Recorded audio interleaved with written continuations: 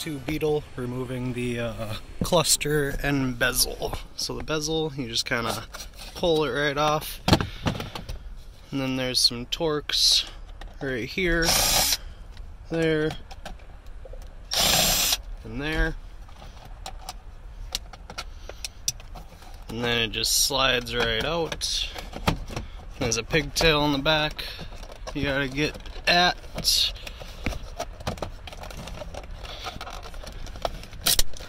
And there you go.